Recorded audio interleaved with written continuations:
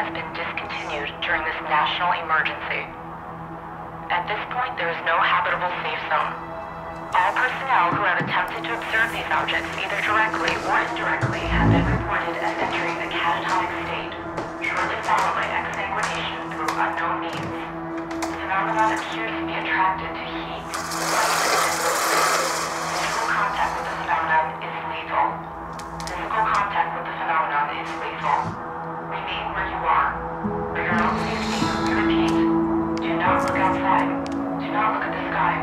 Do not make noise. Do not leave your shop.